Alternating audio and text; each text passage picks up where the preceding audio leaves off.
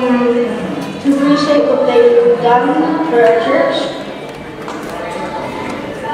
We appreciate the pastor. He is funny. He's always elevated smiles and Pastor Eddie makes fun things and he does such a good job. Teaching us about Jesus. He really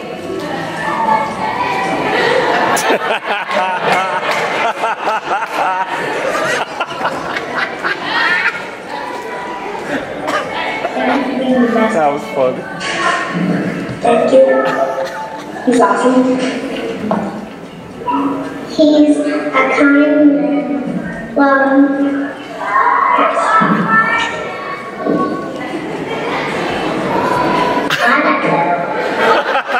He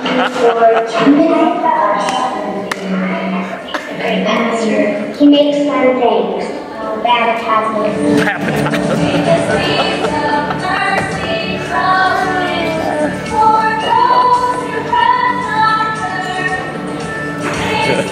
Baptized me.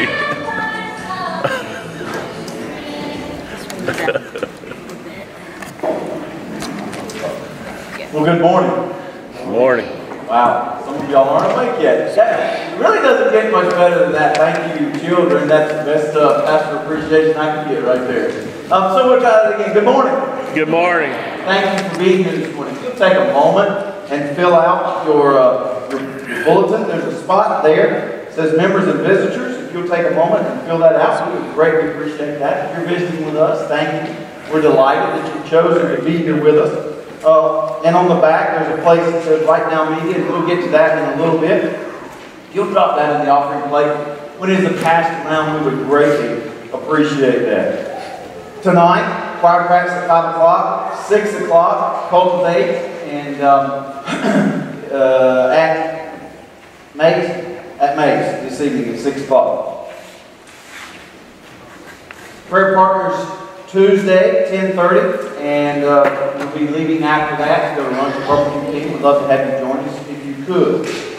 Notice there is a college student of the week. There's one every week. This week it happens to be Easton Finger. If you would drop her a note, she would greatly appreciate that. And just a side note, I know her birthday is at the end of this week, so just uh, it would be a great day to, to drop her a, a birthday um, card in, in the mail. She would appreciate that. If you'll pay attention to the rest of the announcements in there, we would uh, we would love that. Now, next week is um, our fall festival in the afternoon. A couple of things. It's for everybody. It's not children. It's not you. It's everybody. So let me encourage all of you to be here. Part of next Sunday afternoon, beginning at 4 o'clock, we're going to have a chili cook-off. It's kind of chilly weather, so we can have some chili. So that means anybody. Bring a pot of chili, uh, and then somebody will be judging it, not myself. And um, after that, at a point in the evening, we'll all come in and eat together and have a good time together. There's also another uh, competition going on. It's called Pumpkin Something. Pumpkin something, whether it's pumpkin pie, whether it's pumpkin cake, whether it's pumpkin roll, whether it's, uh, who knows, whatever you decide you want to make out of pumpkin, we would love to have you bring it and share with other folks. And um, we'll, that'll be judged also, and we'll eat that at the same time that we eat uh, the chili. There will be a lot of other events going on um, that evening, and so make plans to be here. I think you will thoroughly enjoy it as we fellowship together and um, work together, play together, and share together. We are delighted that you are here this morning, and it's our pleasure and honor to worship you. Would you join me in prayer? Father God, we love you. We pray. God, we pray that you take all of the distractions away from us this morning. All the ball games that happened yesterday, all the ball games that are going to take place today. But God, today is your day. Help us to focus completely on you. Take away the events of yesterday and last night and allow us to seek you with all our heart, mind, and soul. God, we love you. We pray. It's in Jesus' name we pray. Amen.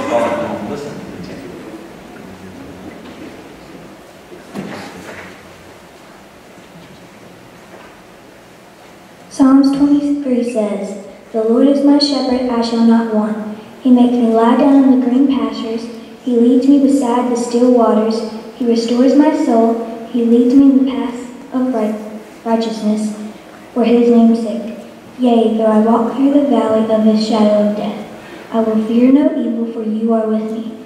Your rod and your staff, they comfort me. You prepare a table before me in the presence of my enemies. You anoint my head with oil, my cup runs over. Surely goodness and mercy shall follow me all the days of my life, and I will dwell in the house of the Lord forever. Thank you, Reese. An interesting psalm, read at many different occasions, many different times, many different places. Some of you, it's your favorite scripture. He restores my soul. We're talking about soul in the next several weeks. We began a little bit last week. Part of today is to really begin the process of thinking about a healthy soul. He restores my soul. Yea, though I walk through the valley of the shadow of death, He is there. I just want y'all to think about this morning, and it's a little different, nothing unusual about that for us. But I just want us to relax and listen to God. I want you personally to take a moment, the next 49 minutes, and really allow God to penetrate your soul. So we've prepared a few things to think about. Obviously, last week we started with pumpkins. There's one that uh, you didn't recognize as rotten last week, and as we hang around rotten people, we begin rotten. And by the way, if you don't cut the rod out, you know what happens?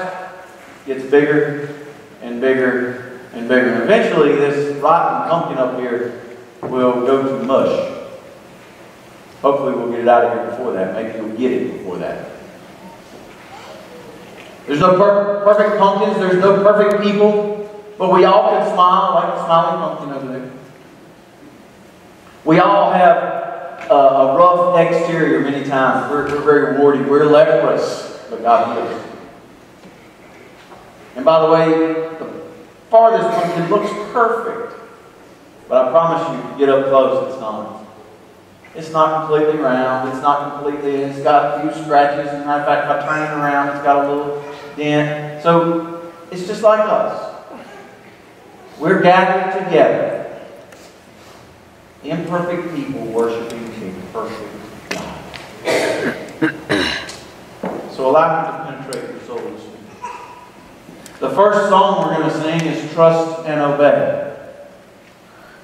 And I want you to sing it like you really trust and obey. But before we get there, Bonnie, if you would. That's not really what I had in mind. Actually, it is. Do it again. Wow. That wasn't the first one. You know, the reason I wanted her to do this is because that first one represents many of our lives. It's cluttered. It's loud. It's everywhere. It doesn't make sense. That first note represents many of our lives. That second note represents some other lives. And it's just, well, what's the point? It's there. It's a note. It's one note. What, what difference does it make? Next.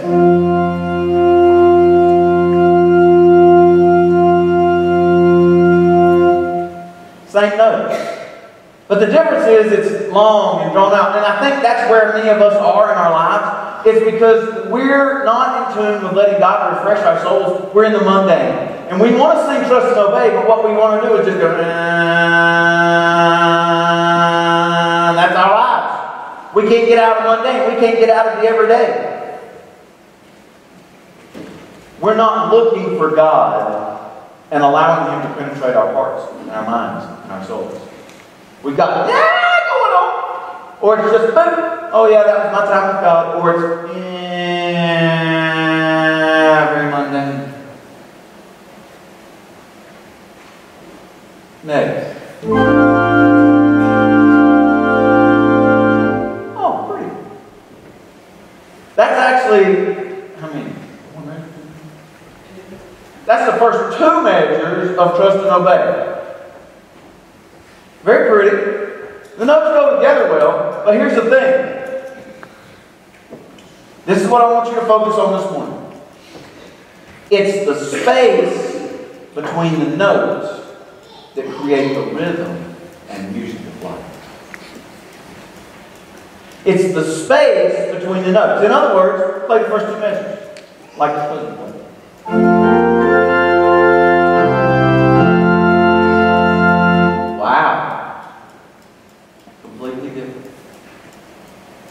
space between the notes.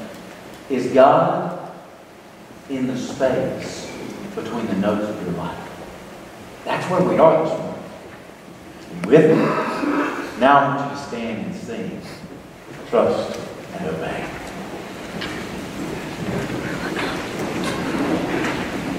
Thank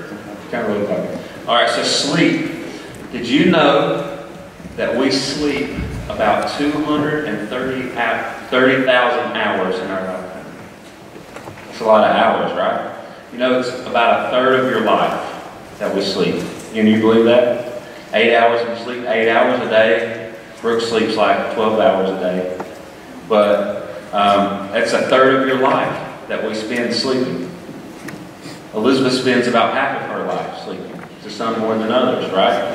So why do we sleep so much? Why is sleep important? It helps you grow. Good. Why else? Why do we sleep? It is good for you. Sam, what you think? No? Ask him what you think. Got any guesses?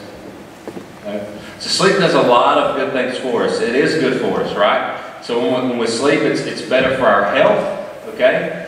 Um, believe it or not, it, it helps us to think better and to do better in school, right? Did you know that? That sleeping can help you in school? Yeah, it can. So sleeping can help you in school. It's better for our health.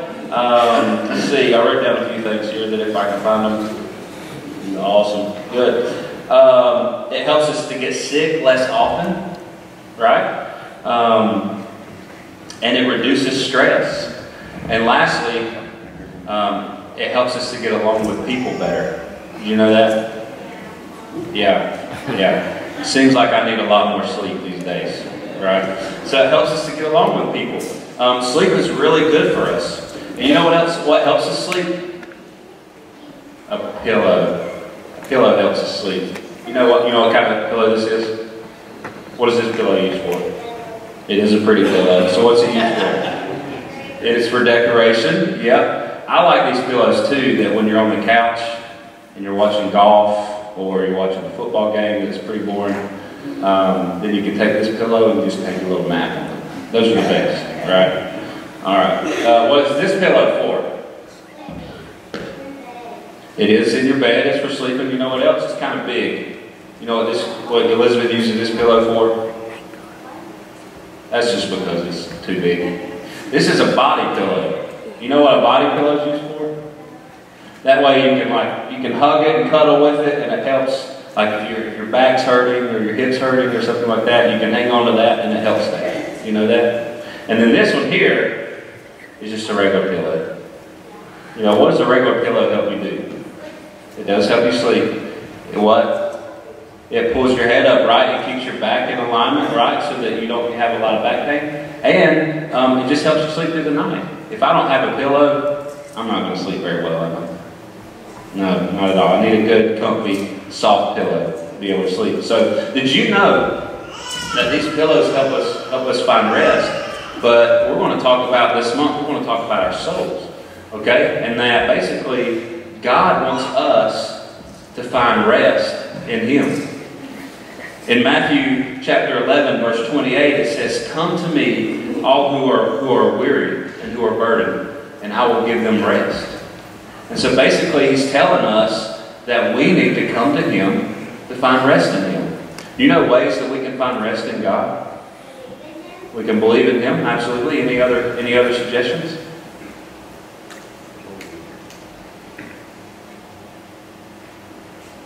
We can find rest in Him by reading the Bible. Did you know that? That the more we we can go to church. That's my next point. Very good, Lucy. So when we read our Bible, um, we learn about God, and we find rest in His Word. It gives us peace and gives us understanding. And also, we can go to church, Um, in Genesis chapter 2, it says God worked for six days, and on the seventh day he rested because he felt like it was important. And so, in the same way, during the week we're going to school, we're playing sports, we're running around, your parents are running around everywhere, and we're just tired and worn out when it comes to Sunday. And so on Sunday, we can go to church. We can listen to the beautiful piano music that we've heard this morning. We can sing songs to God. We can talk to other people. And we can be together on Sunday and we can find rest. And when you go home, you can take a nap and it's all okay because it's on Sunday, right? And so on Sunday, when we go to church, we find rest in Him. And so God wants us to take this day. He wants us to, um, to rest and to be stress-free and to enjoy our family and enjoy our church families. Does that make sense? So in the same way, a pillow helps us sleep at night because sleep is important for our lives. We need to go to church to find rest in God because that's important for our souls. Let's pray together. God, we love you so much and we're thankful for all these children. Um, God, thank you for loving them. Uh, thank you for their families. God, thank you for teaching us today uh, that we should find rest in you. Um, that it's important to, uh, to be around family and church family. It's important to sing praises to you. Um, God, more importantly, is to, to sit and to listen and, and find rest in you and take away all the stress and anxiety that we have in this world. We love you. in Jesus' name I pray. Amen.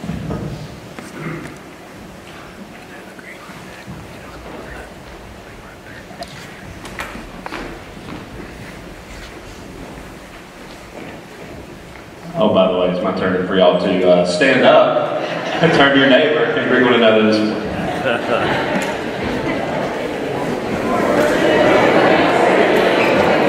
move them feelings, Eddie will be all over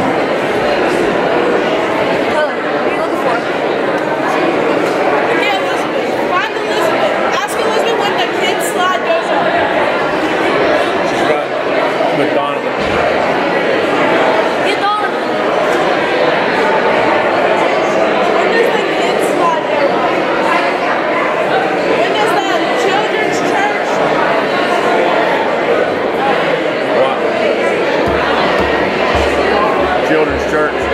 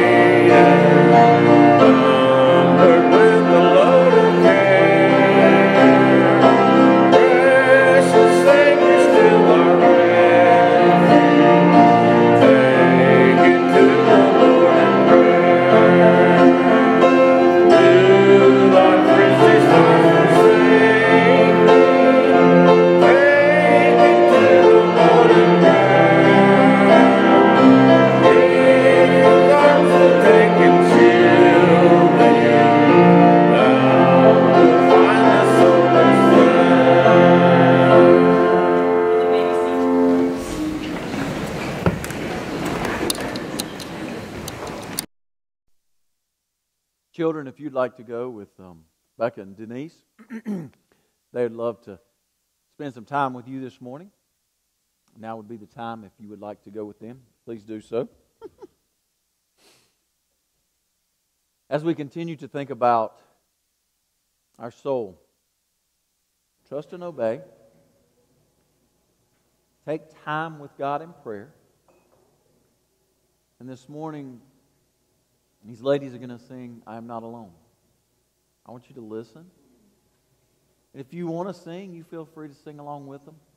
But particularly, pay attention to the words that are being sung and let them be the words of your heart to our Lord.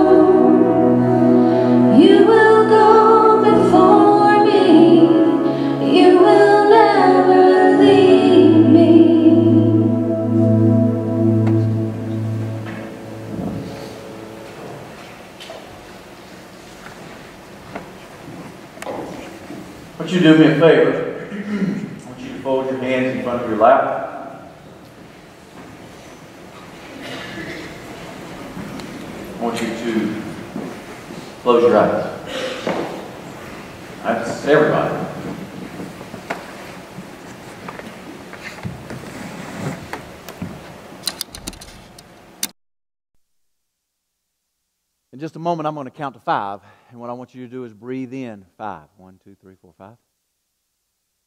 I'm going to count to five again. I want you to just hold it for five. That might be a struggle for some of you.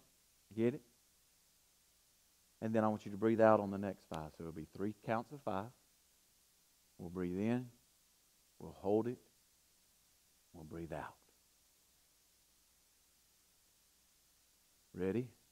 Breathe in. One, two, three, five. Hold it. One, two, three, four, five. Exhale. One, two, three, four, five.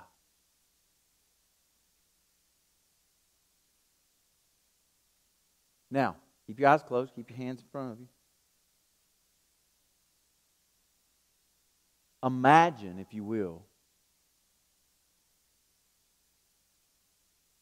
this is God trying to speak to you.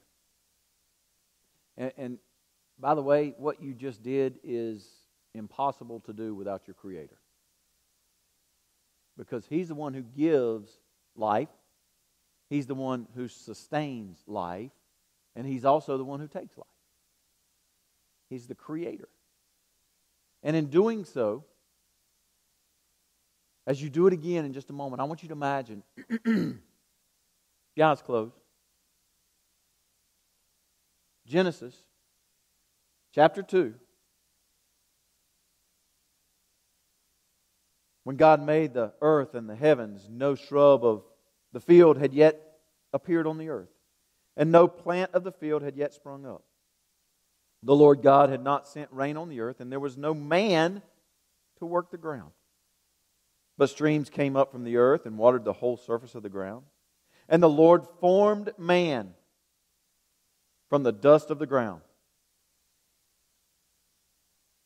and breathed into his nostrils the breath of life.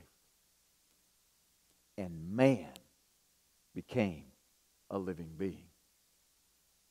So when we do this again, I want you to imagine that God is breathing the breath of life into your very being because He is. And then I just want you to imagine holding on to that feeling and then just releasing. Because as you do so, it's very similar to God will restore my soul in Psalm 23. wow. Thank you, Lord. Sometimes we just need to stop and take that breath. It's the life between the notes. It's the space between the notes that truly create life. All right, here we go. Breathe in. One, two, three, four, five. Hold it. Three, four, five. Now breathe out.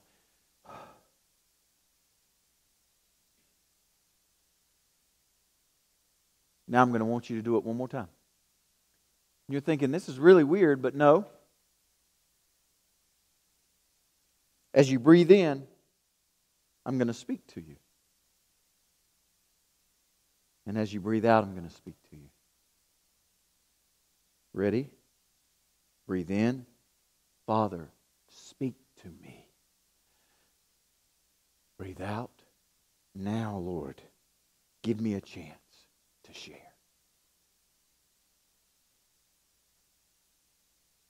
Open your eyes. That's who we're supposed to be. Breathe in and share. Breathe in and know that He is good and share the goodness of who He is. Jesus said, Take my yoke upon you.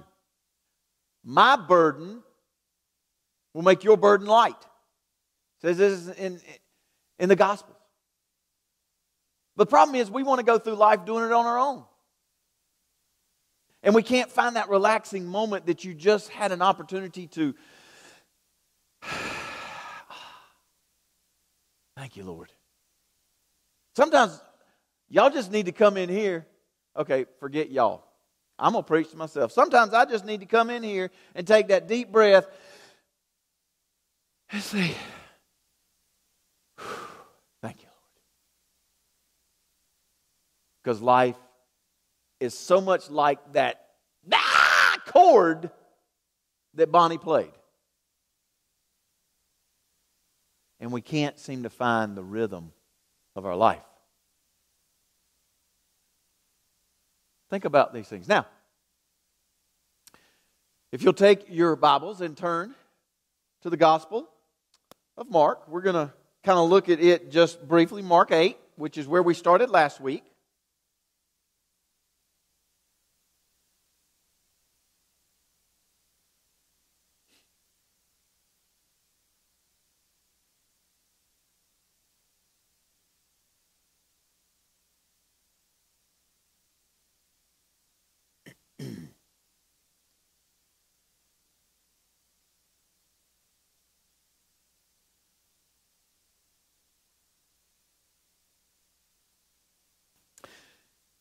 Mark 8, beginning with verse 34. Then he called the crowd to him along with his disciples and said, If anyone would come after me, he must deny himself, take up his cross, and follow me. Now, we talked a little bit about that last week. But let me just emphasize again guess what?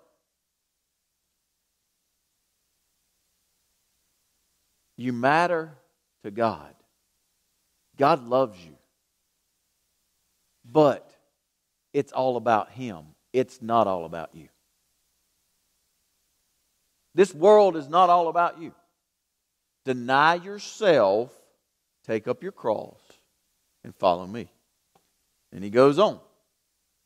For whoever wants to save his life will lose it. But whoever loses his life for me and the gospel will save it. What good is it? I've got it underlined. What good is it for a man to gain the whole world, yet forfeit his soul? And then the next part, and I talked a little bit about last week, or what can a man give in exchange for his soul? There's absolutely nothing you can do to exchange for your soul. God created your soul, God gave you your soul, God gave you life, and He is the sustainer of life, and He wants to spend time with you in this life. The problem is, we don't make time for Him. And there's absolutely nothing you can do to exchange that for Him. Ruth Barton wrote a poem how she talks about the loss of the rhythm of life. It says this Holy One, there's something I wanted to tell you, but there have been errands to run and bills to pay, arrangements to make, meetings to attend, friends to entertain, washing to do. And I forget what it is I wanted to say to you. And I mostly forget what I'm all about or why. How many of your lives does that describe? Man, I got to tell you something. But wait, I got to here. And I, I, I had something to tell you, but don't remember what it was. God wants to spend time with you. And this morning we're talking about soul care and restoration of the soul because God restores your soul. There's a couple of words that are used in the biblical text. The Hebrew word for soul is nephesh. And it's really life, and it is really the idea that's the same word that I read in Genesis when he breathed the breath of life into him. Nephesh means soul, self, life, person, and even heart. It's all of who you are.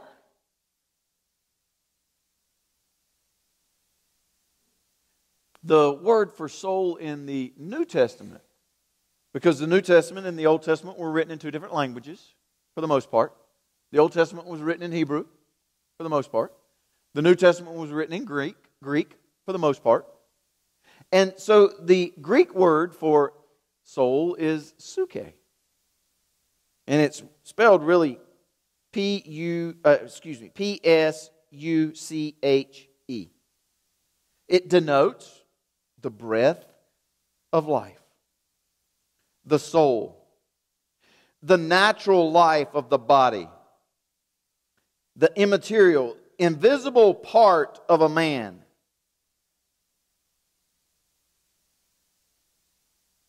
The soul.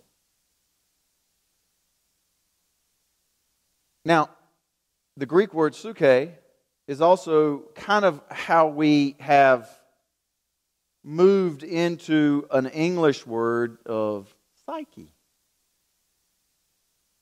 It's the psyche of yourself, the psychology of yourself. But it's the inward being of who you are. Now, what I want you to think about this morning is this Where is your soul and compared to where God would want your soul to be? How are you taking care of your soul? You see, I know folks, and I shared this with you last week in a hurried state. I know folks who go to the gym every day to work on their bodies.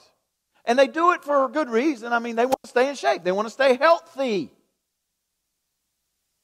But what are we doing to maintain our soul health?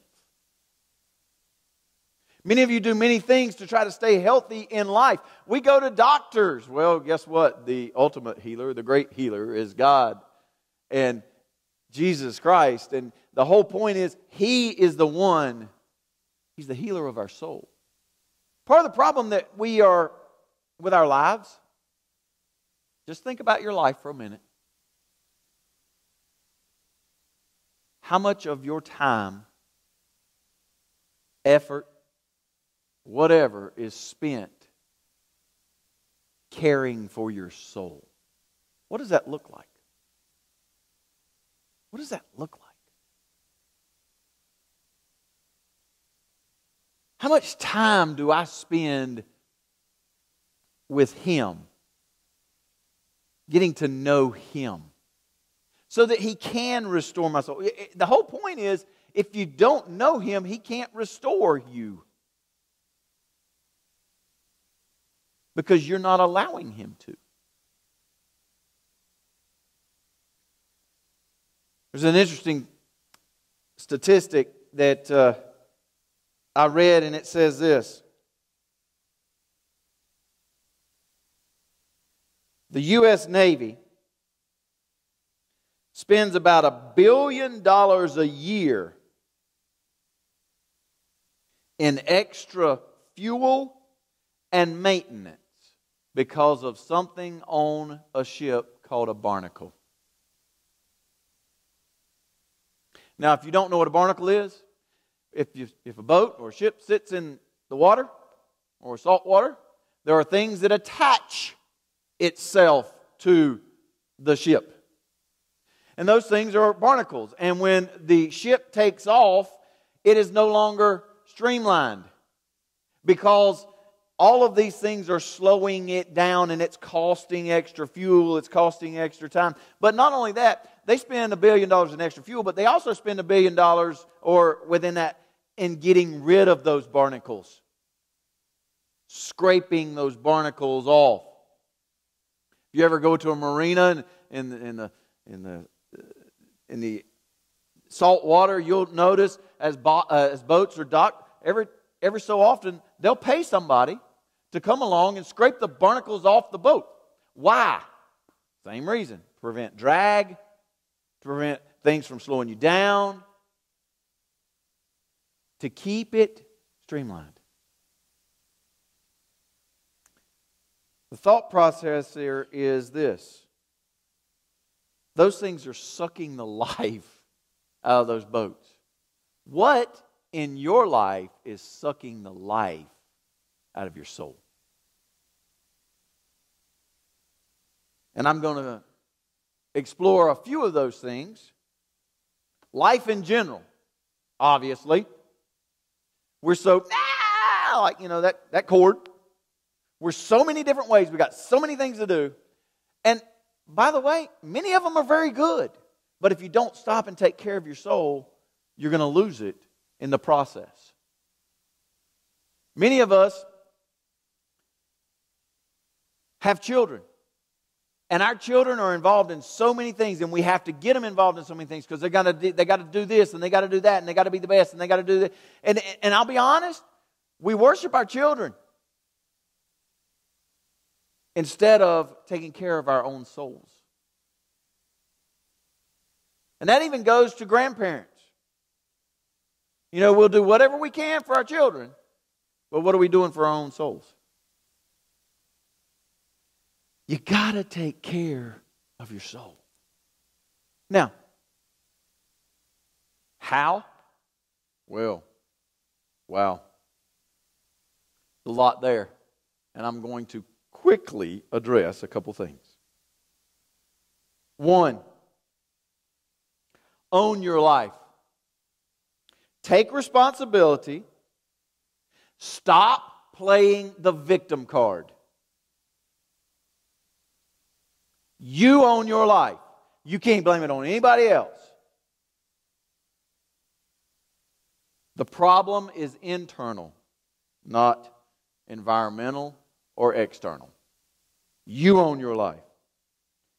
Get alone with God and determine your values and your priorities. Here's the thing write them down, write them down regularly. Now, I'm not, you know, a lot of folks are into journaling, and I'm, I'm great with that. But here's the thing if you don't spend time by yourself with God or with one other person so that you can connect and actually write some things down, God, this is what you're speaking to me about. How do you go back and figure out, oh, wow, there's been a difference made?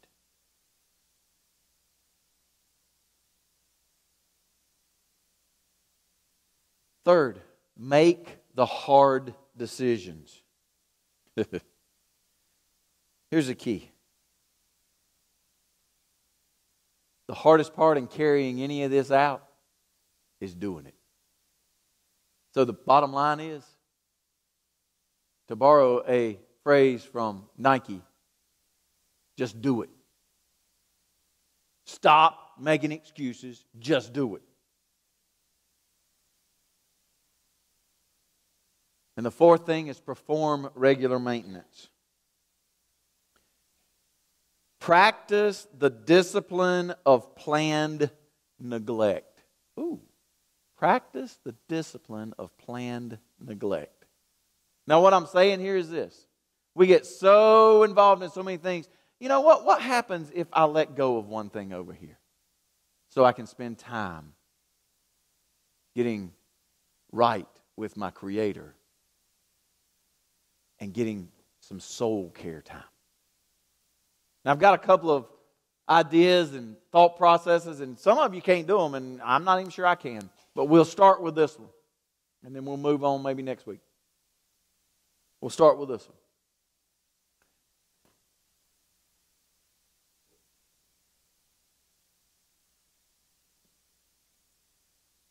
How many of you have one of these?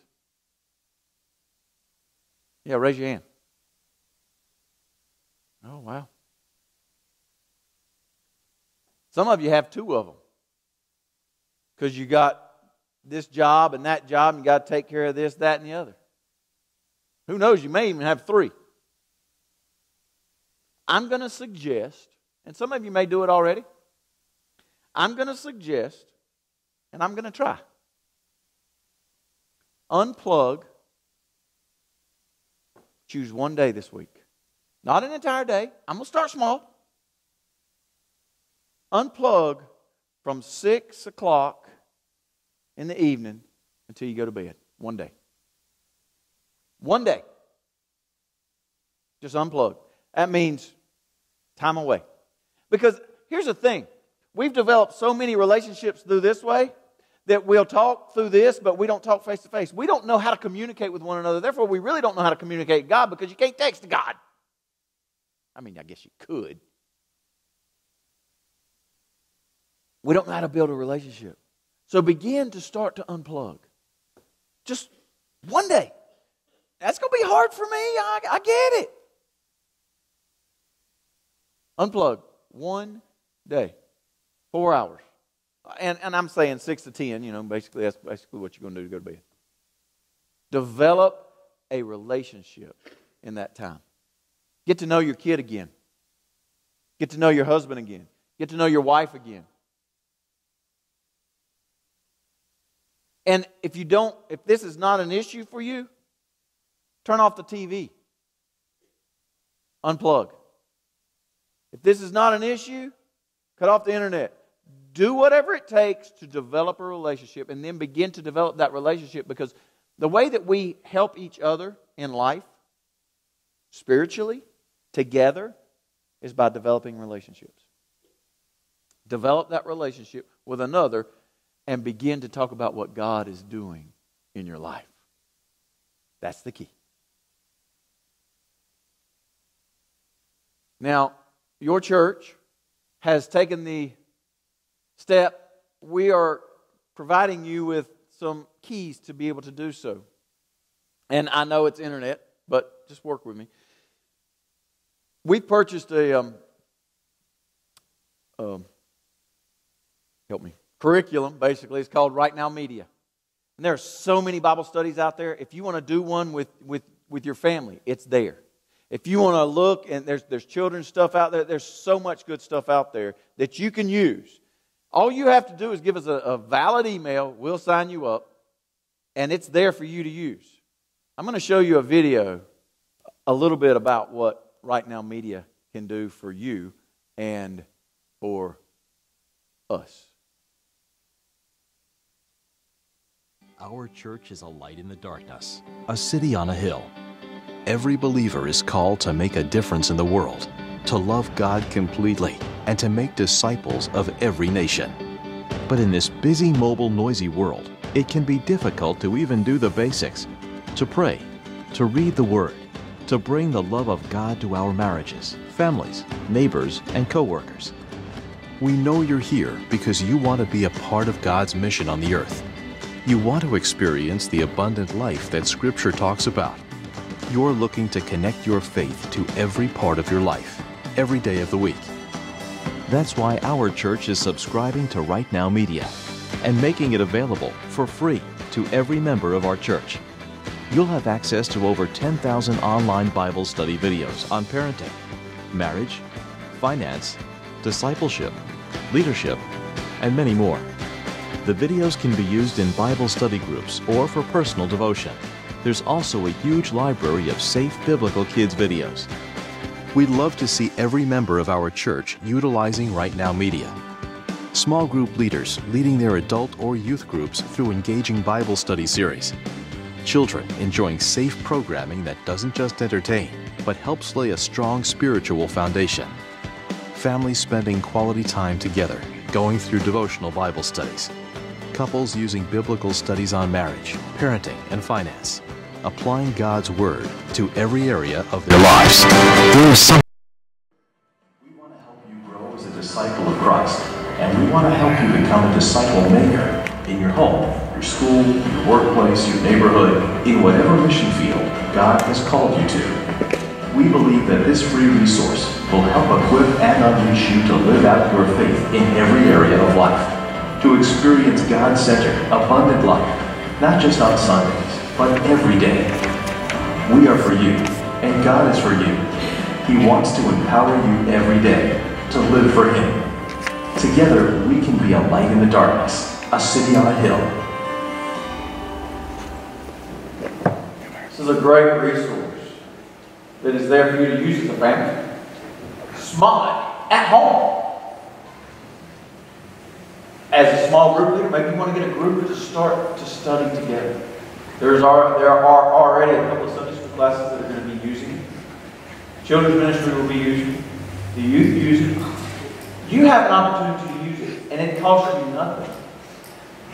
Because the church has signed up for. Well, now, your tithes are paid for it. How's that?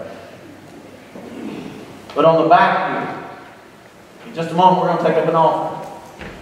If you would like to subscribe, all you got to do is put your name and your email address. Make sure it's legible, okay, so that we can get it in there. And it will be put in for you to be able to use. What a great opportunity for us to begin to disciple in many different ways. As the ushers come, we're going to take up an offering. I know it's a strange time to take up an offering, but it's always good to give. But during this process, if you would like to receive this, all you got to do is drop this in there, and you will receive an invitation from me. Some of you have already received it, because we have to email addresses.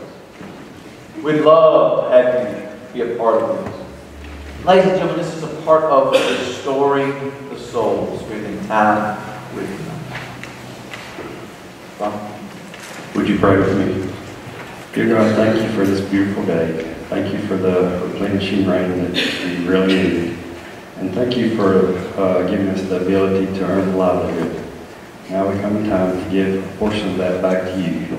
Bless the gift and the giver, and help us to be a light to this, this community and grow your church. In your name we pray. Amen.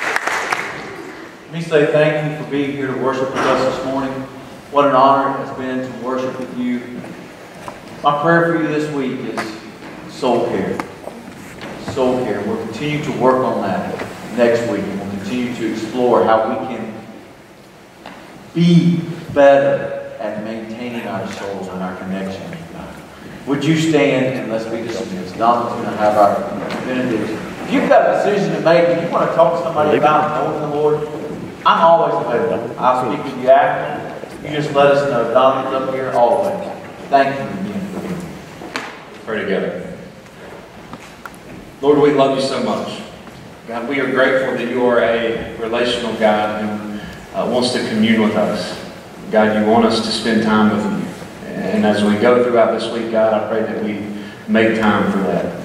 God, I pray that we uh, spend time in our words, spend time in prayer with you. Um, God, spend time um, loving and encouraging our families because that's what you call us to.